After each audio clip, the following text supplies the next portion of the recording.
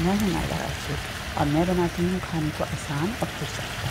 और आज मैं ला रही हूँ एक new recipe chicken peri peri तो देखते रहिए नायला राशिद किचन